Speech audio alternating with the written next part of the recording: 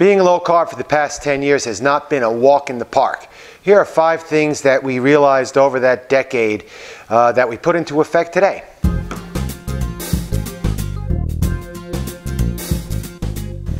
Hey there, NJRoute22.com here with a little low carb, carnivore, maybe keto uh, recap over the past 10 years of our lives.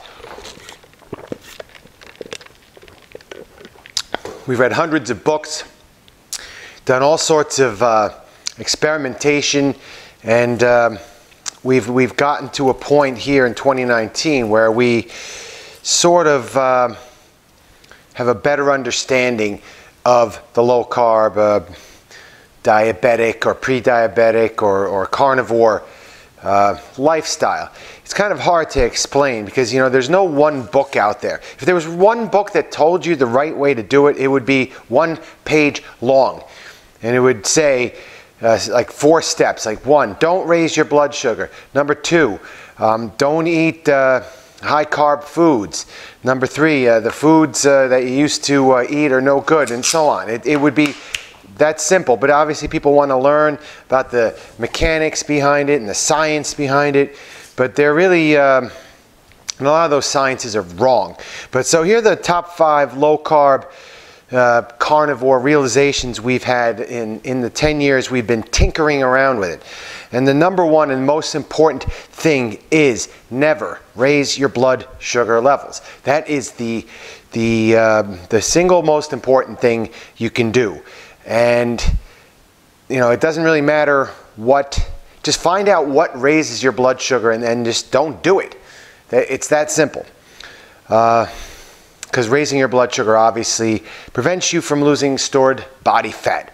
Read the books, you're going to find out that's true. And, and when you feel it and uh, experiment with it, you'll know that is, uh, that is the case. And that leads me to number two, and that's about all these low glycemic index foods like fruits and vegetables. You know, avoid uh, pineapples and bananas. You can have blueberries and strawberries. While that's true, uh, they are low, low glycemic index foods compared to others. You know, potatoes, for instance, are really starchy, high carb foods.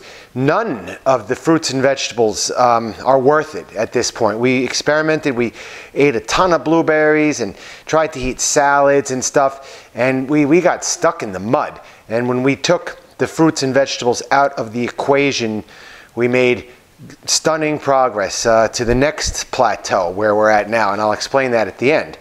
Um, it's uh, you just can't really go into ketosis when you constantly put little amounts of carbs in your body all day long. And number three is these alternative guilty pleasures, as they're called. And you know, you look at all these low carb blogs, websites, uh, social media accounts, and books.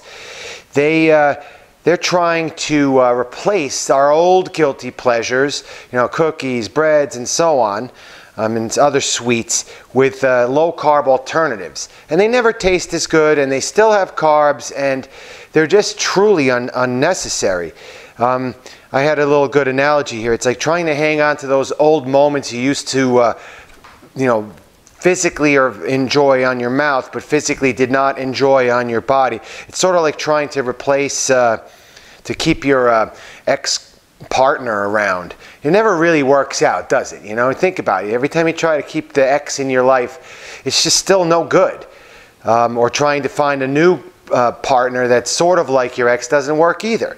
So if you use that analogy, uh, you should just get the sweets and the carby things out of your life. And that's, that's still kind of important. So my next point is about flavoring and, the, and spices and other ingredients that you might add uh, to your foods. Um, I've been slowly phasing them out just by, by necessity. I notice that when I add certain spices, and sometimes I'll throw some onion, or for instance, in a, in a meat dish for flavor, and I, I like the taste of onion and garlic, but they don't make me feel good. They're inflammatory. And if you cook the meat right and nice and rare, and the flavor of the meat plus salt is, is really all you need. And the fact that you're not hungry and you're constantly satiated, you don't need all these interesting or exotic dishes to to keep you entertained in your mouth. Just eat your meat and move on and do other things in your life. Food becomes secondary and not a primary part of your life. And lastly, it's about meat. I'm finding that uh, meat like I can't eat chicken anymore. Chicken used to be a good standby, especially the fattier parts of the chicken, like the thighs or the legs.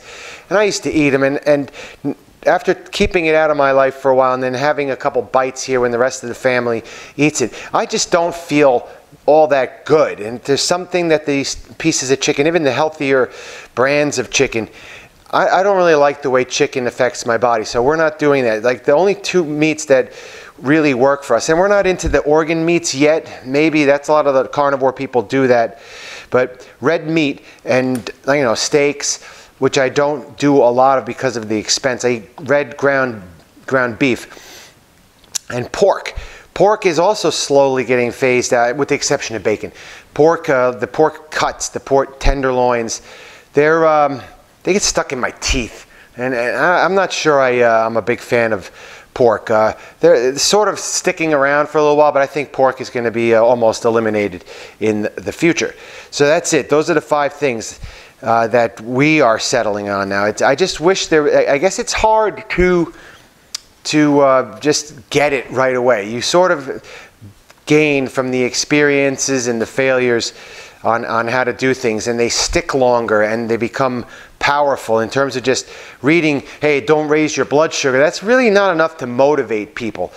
Um, unless you follow the instructions exactly and you can remain committed. I think the only way to remain committed long term is to experience it and, and fortify your beliefs through trial and error. So that's it. Uh, hit the subscribe button, the bell, all that stuff. I have like hardly any subscribers, and I'm telling a lot of, I'm communicating a lot of good messages here. I just need more. So if you can spread the word, I'm going to try and promote my videos somehow uh, by posting on other things, but I just don't have the time. So have a good day ahead.